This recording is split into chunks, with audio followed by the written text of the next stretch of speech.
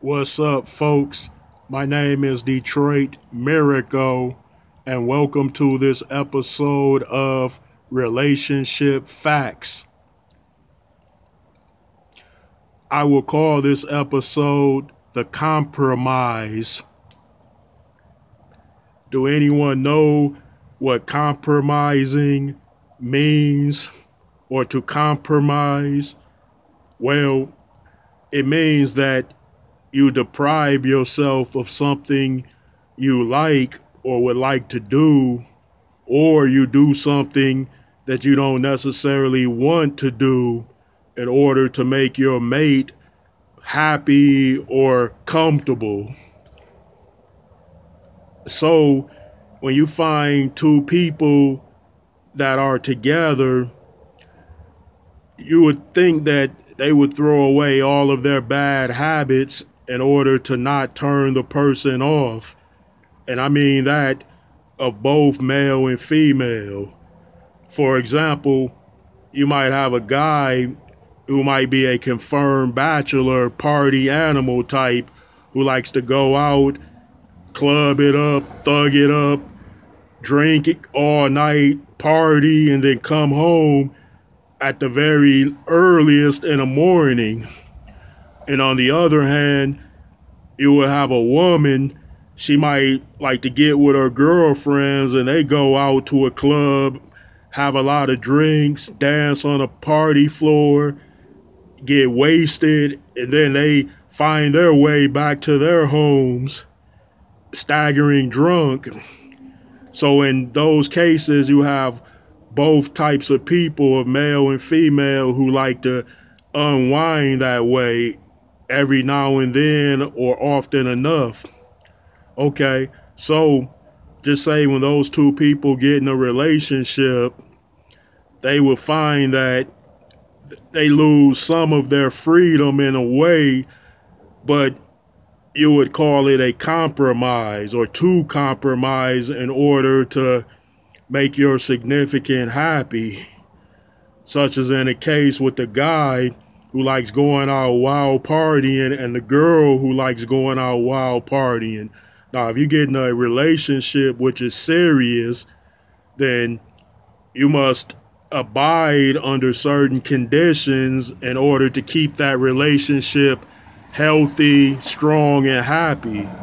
Meaning you cannot do whatever you want all the time. You cannot go and do as you please you cannot hang out with whoever you want to hang out with. You can't party it up all night and toast the town. Yeah, you must say that you must do things necessary in order to keep that relationship working right. And that goes for both parties involved. And there there are some that would call that giving up some of your freedom. But it's another way to look at it which is to compromise certain things or to go along with certain things in order to get along. It's as, as simple as that.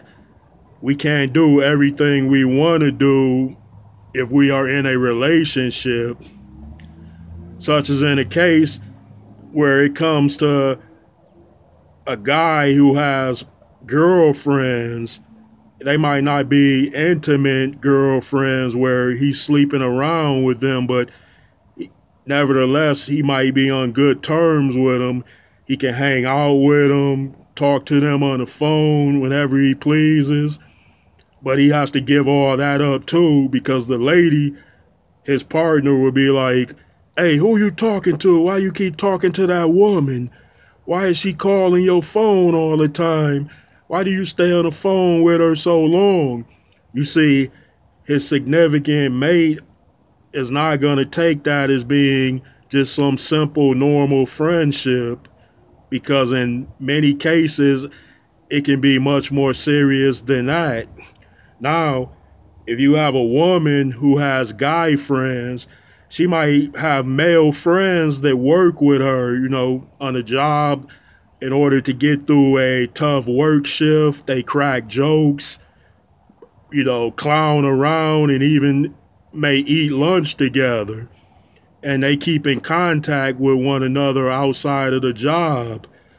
But if that woman is off her job and at home near her boyfriend, her that woman's co-worker cannot just call her as he pleases and talk to the, her on the phone and play around with her, especially if it's been known to the boyfriend that she has a male friend.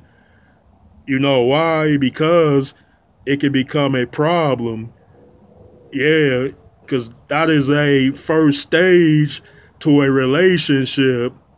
Being able to comfort the woman, make her laugh, please her that way, and then that will smooth the way for you to edge a little bit closer to her to get a little bit more, I would say, pleasure from the whole arrangement if the guy is thinking that way. Yeah. Why do you think um guys be taking women to comedy shows? That is a test. They're testing those women to see if they have a singular wit and who are capable of laughing and having a good time. So that will determine that any guy that can make the woman happy and smile can be more friendlier towards her. That is not a theory of mine, but rather a factual truth. Well, getting back to the whole compromise thing, it means that if you give up something that you like or go along with something that you necessarily don't want to go along with and follow that routine, then it means that you care about your your partner and your mate in order to make them happy that way by showing that you are willing to compromise but only for them and their sakes. Yeah. Yeah, it can't be and it isn't as bad as it seems with the compromising because if you have a good healthy strong relationship then you'll gain much more by you compromising in regards to what you like and what you don't like and that goes for both parties involved in a relationship yeah folks well I'd appreciate it if you all would drop those comments, throw me those likes, and please subscribe to my channel, which is Detroit Miracle. And peace out.